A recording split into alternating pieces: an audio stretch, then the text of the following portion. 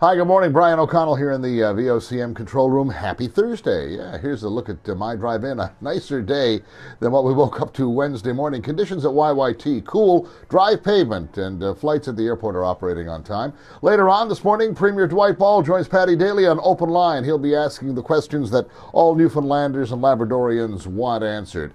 As I said, if you're on the move this morning, it's a good looking day for the drive in. Here's uh, part of uh, my run down Kenmount Road this morning. We start the show here at 5:30. Join us, won't you, on 590 VOCM.